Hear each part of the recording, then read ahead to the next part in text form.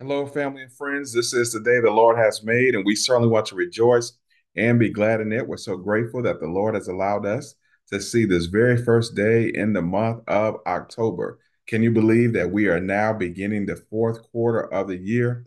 Where did time go? It seems like it was just January. It just seemed like it was the first quarter, and now the first quarter has passed us. The second quarter has come and gone. The third quarter has come and gone, and now we are here in the fourth quarter. Well, we declare and decree that this fourth quarter is going to be the best quarter. And so we are excited because we believe that God is up to something. And I pray that you as well have that seared in your heart that you believe that God is not done yet. God may not have done it for you in January, February, March, April, May, June, July, August, September, but I believe that God can do it in October, November, and December. I believe that these next 90 plus days is more than enough time for God to do what God is going to do in each of our lives. Well, we'd like to welcome you to our Triumphant Tuesday online Bible study, and we're so glad to have you with us today.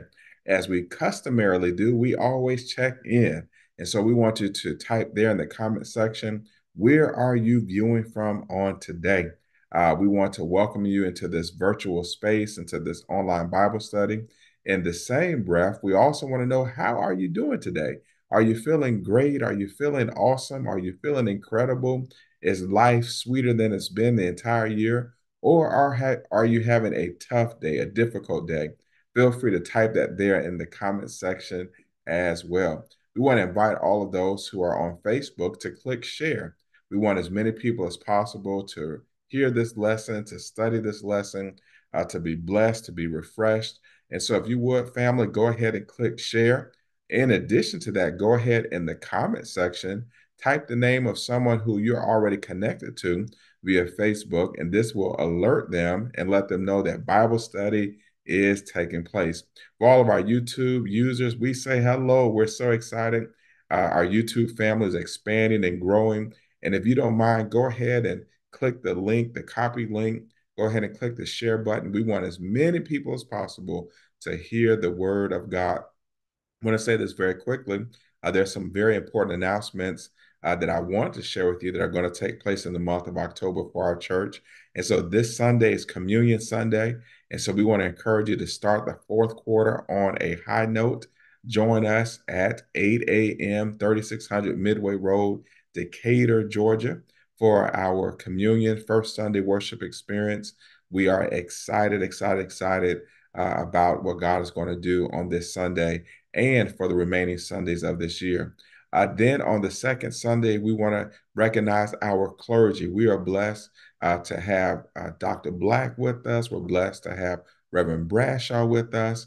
And uh, we praise God for Reverend uh, Cameron Cunningham, who is pastor in his own church, but certainly comes by to be of support and help. And so we just want to love on them. And so I want to encourage you to come out on the second Sunday as we recognize them. And then on the third Sunday, uh, we understand that this month is Breast Cancer Awareness Month. And so I want to encourage you to wear your pink on the third Sunday. We're going to stand in solidarity with those who are fighting breast cancer. And we also want to uh, stand in, if you will, in triumphant victory with those who have overcome breast cancer. And so uh, we also are going to recognize all uh, all of those who have battled cancer. Uh, we certainly do not want to discriminate. And so uh, we want to encourage men, if you have as well defeated cancer, come out on that third Sunday. We're going to wear pink. And then on the fourth Sunday, we're going to celebrate uh, Pastor's Appreciation, Pastoral Anniversary uh, praise be to God. I started pastoring in the year 2010, became a senior pastor in the year 2010. And so I have from that point historically celebrate, celebrated on the fourth Sunday in October. We're going to be blessed to have Pastor Michael Harris and his congregation coming all the way from Coatesville, Pennsylvania. That's right. They're coming all the way from Pennsylvania to Atlanta, Georgia. So we want to be there to receive them. I'm sure that God has already given him a mighty word. It's going to be a great time. We're going to have a great reception afterwards in the fellowship hall. And I'll share this good news with you. I will be launching my newest, my latest book entitled Marriage That Matters Too. So it's just going to be a phenomenal month. you want to make sure that you're in place. In addition to that, it's my birth month. And so on October 10th, I'm going to be celebrating another birthday. In addition to that, my son on October 16th is going to be celebrating uh, his birthday. So October is just a great month, and we're really excited about it. Well, family, listen, let's pray, and then we're going to dive into the Word of God. To gracious God, we thank you for this time of study, this time of growth, this time of development, this time of stretching. So, God, we ask now that you will pour into our hearts. God, we ask that you will block our mind from any distractions and any hindrances that seek to uh, to encrypt, uh, to, to encroach on this time that we have with you. God, we ask for your forgiveness for all of our sins. God, we ask for help with all of our struggles. And God, we just ask that you will be with us and give us what we need. It's in Jesus' name we do pray. And together we said, Amen and Amen. Well, family, uh, we're going to zero in today on Joshua chapter 1. If you would go ahead and type that there in the chat in the comment section. We're going to focus on Joshua chapter 1. And this entire month, our sermon series, our preaching, our meditations will all come out of the book of Joshua. So I want to encourage you to familiarize yourself with Joshua. Uh, stay with us. Again, you're going to walk away uh, having learned things that you had never heard before, but also it will be a refresher. There'll be some lessons that you have learned that you'll be reminded of. So, again, join us on this journey as we walk through the book of Joshua. And so, we want to look today at Joshua chapter 1, verses 1 through 6. Joshua chapter 1, verses 1 through 6. You'll find it there in the Old Testament Genesis, Exodus, Leviticus, Numbers, Deuteronomy, and then Joshua. It's the sixth book of the Bible. All right, family, Joshua chapter 1, beginning at verse 1, reads on this wise After the death of Moses, the servant of the Lord, the Lord said to Joshua, son of Nun, Moses' aide, Moses, my servant, is dead. Now then, you and all these people get ready to cross the Jordan River into the land I'm about to give to them, to the Israelites. I will give you every place where you set your foot, as I promised Moses. Your territory will extend from the desert to Lebanon and from the great river, the Euphrates, all the Hittite country to the Mediterranean Sea in the west. No one will be able to stand against you all the days of your life. As I was with Moses, so I will be with you. I will never leave you nor forsake you. Be strong and courageous, because you will lead these people to inherit the land I swore to their ancestors to give them. I want to share today from the thought seize the moment. Seize the moment. If you would, family, type that there in the comment section. Type seize the moment. Seize the moment. Beloved, all of us understand that there are certain moments that happen in our lives that are God moments. There are certain seasons, there are certain opportunities that come our way that only God Himself could orchestrate or ordain. We also have come to understand that there are certain moments that when we miss them, they may ne- they may never return back. And beloved, perhaps you've been there. Perhaps you you have some wins, some victories, some decisions uh, that you've made where you are so glad that you seize the moment. But all of us as well have in our record books and our faith files opportunities that we miss whereby we did not seize the moment. Well, today, as we look at our passage, we are introduced to a gentleman by the name of Joshua. And Joshua is given an opportunity to seize the moment. Now, a couple of things we ought to know about Joshua that are significant one of the first things we ought to know about Joshua is that he was the successor to Moses. Now, Moses is perhaps somebody you've heard of before.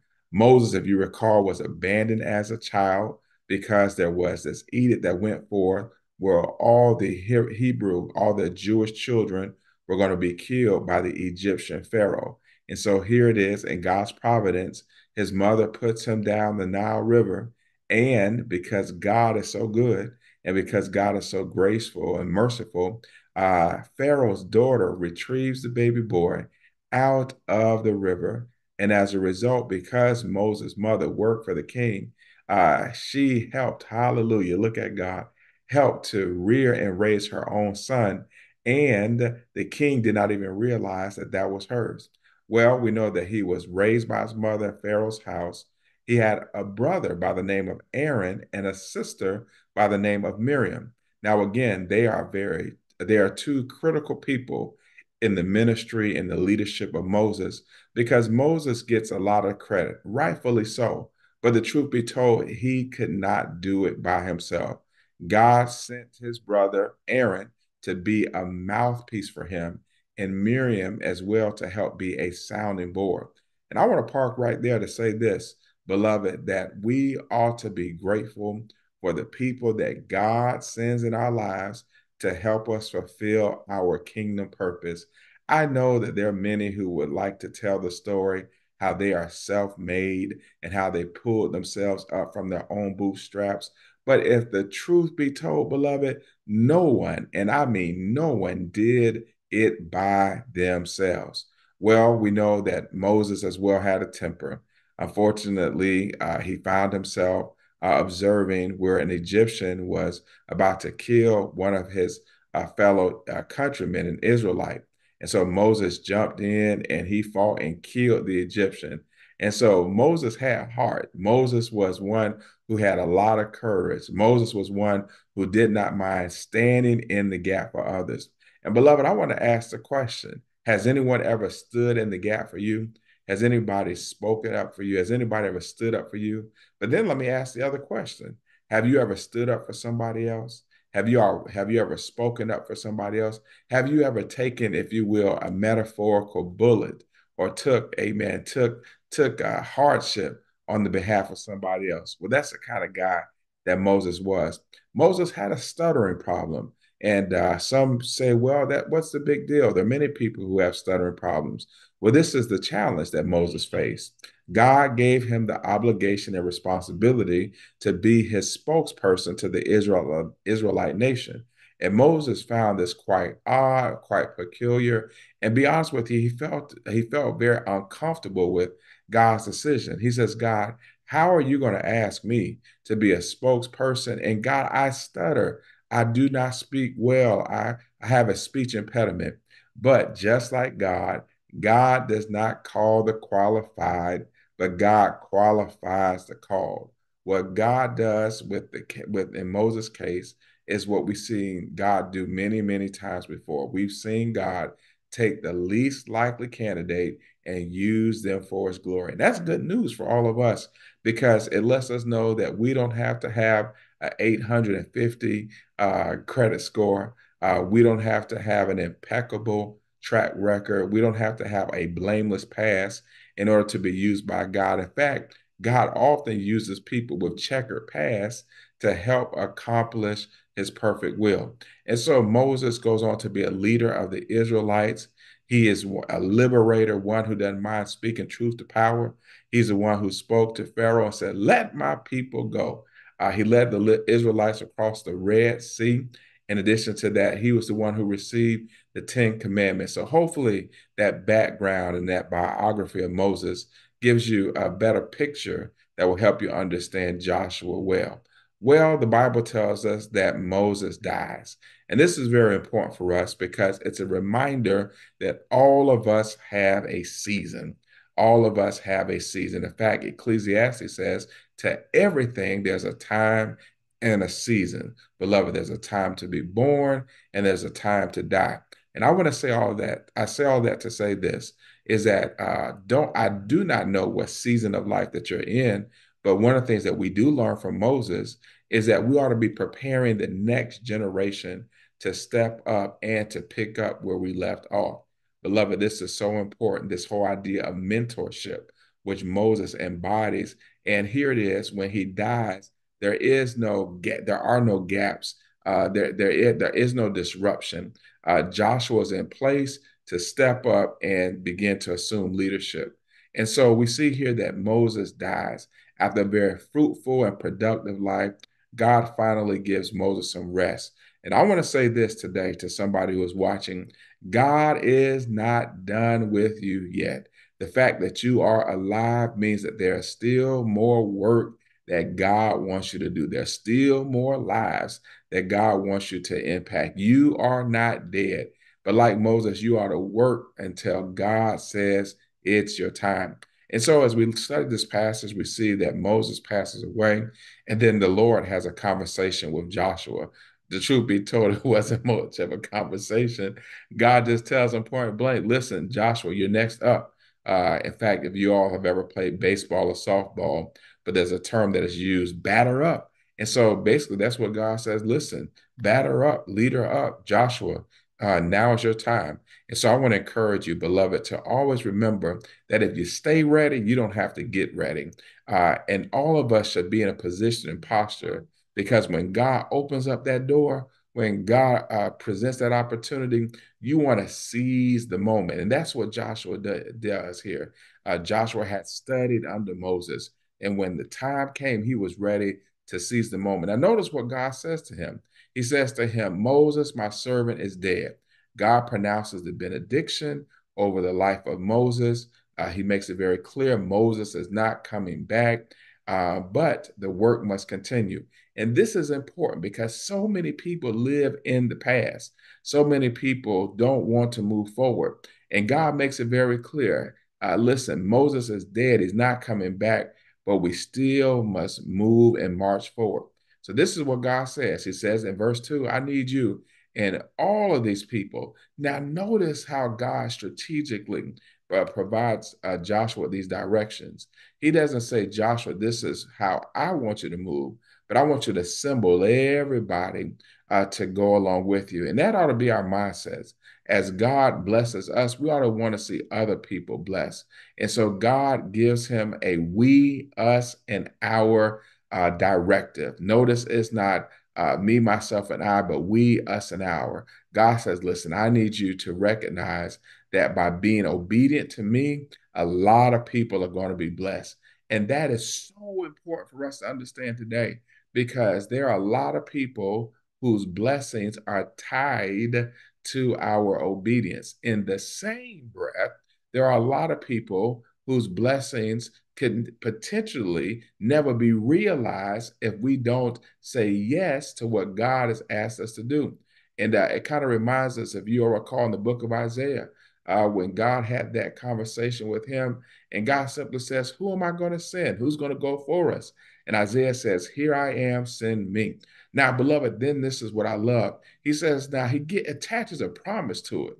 He says, listen, I will give you every place you set your foot as I promised Moses. Aren't you glad that the promises of God do not have a term limit? Aren't you glad that God's promises do not have an expiration date? God says the same promise that I gave to Moses is the same promise that I'm going to keep with you. And that's why the saints of old would say things like, He's the same yesterday, today, and forever. And so we see the consistency of God.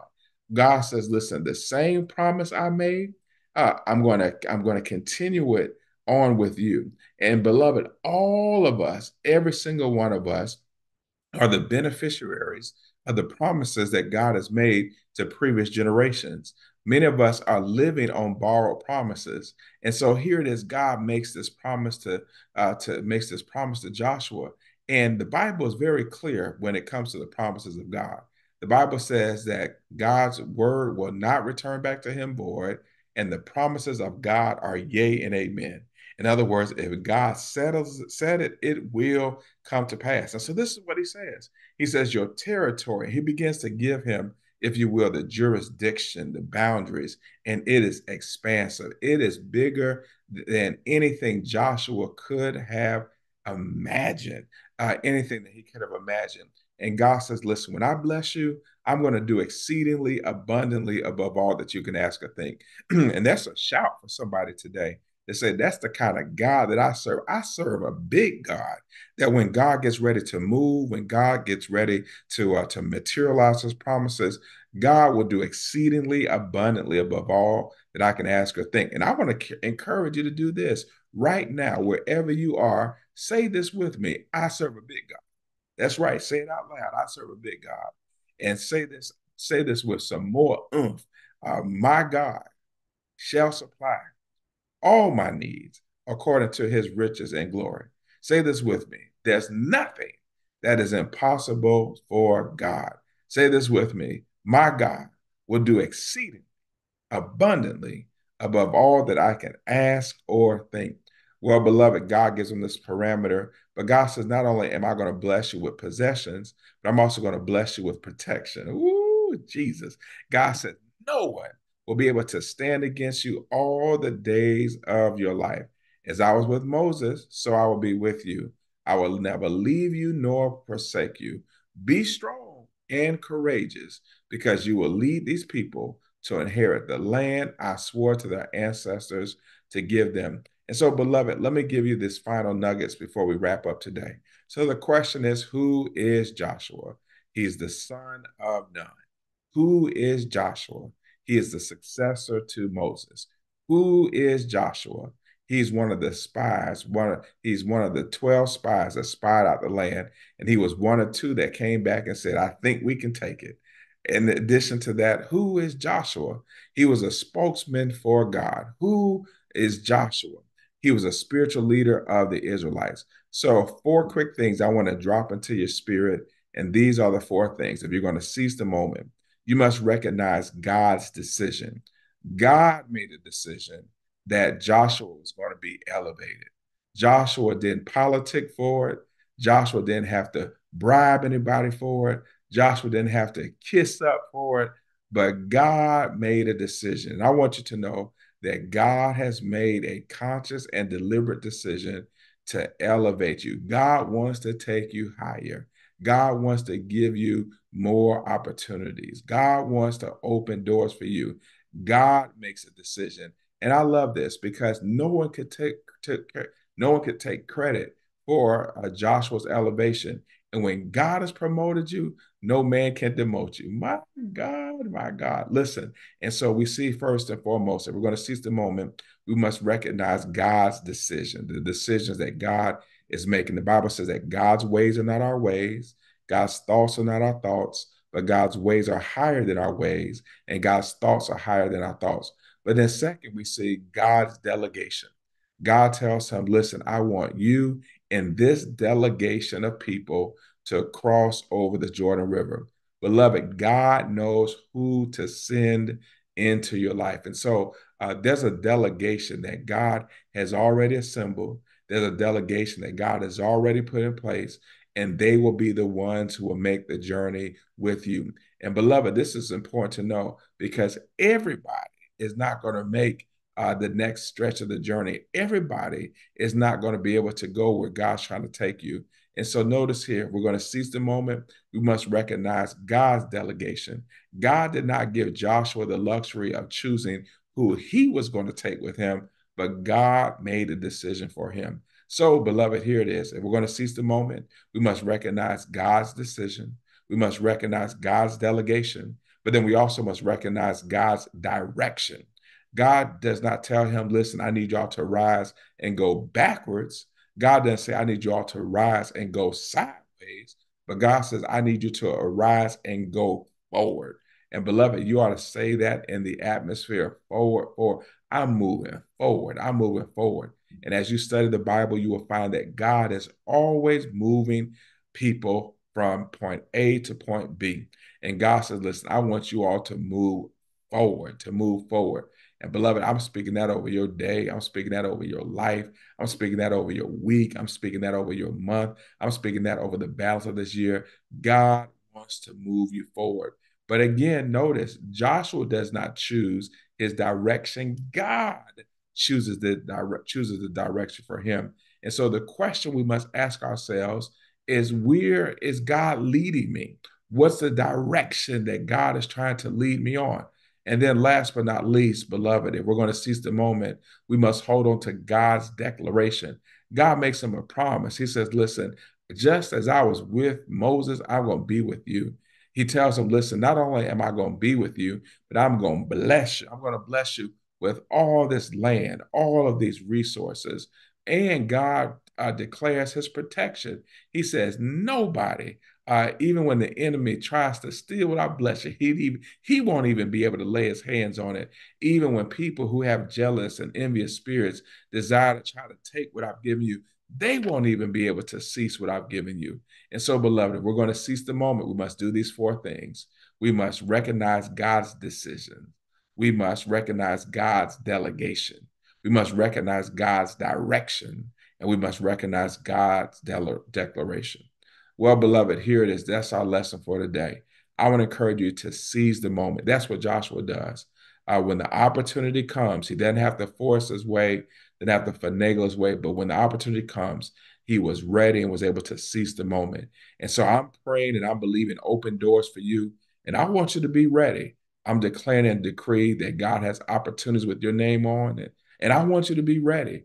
I believe that God wants to do something that will blow your mind and bless a lot of people. But you and I need to seize the moment and be ready when God gives us the nod. Well, I pray that you are blessed today. If you were blessed, go ahead and type blessed in the comment section. Uh, if there was something from today's lesson that stood out to you, go ahead and type it there in the comment section in the chat.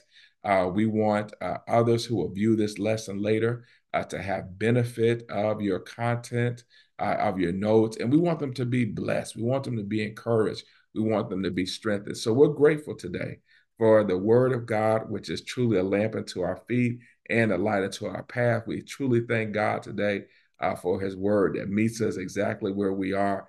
And so uh, we praise God for how he moved today. So, beloved, let me pray for you as we prepare to wrap up. So, gracious God, we thank you for this time of study, this time of growth, this time of stretching. God, thank you for reminding us that you want us to seize the moment. God, we know that uh, you're shifting seasons, that new doors are about to open. And God, we want to be ready to walk through uh, that which you have prepared for us. And God, just like you did for Joshua, God, do exceedingly abundantly above all that we ask or think. God, we ask that you will look beyond all of our faults, all of our shortcomings, and bless us as only you can. God, have your way is our prayer. In Jesus' name, we do pray. And together we said, Amen, Amen, and Amen. All right, well, family, God bless you. We look forward to seeing you on Wednesday uh, for Bible study. And then we hope to see you this Sunday as we gather once again for Communion Sunday. God bless your family and have a great day. Peace.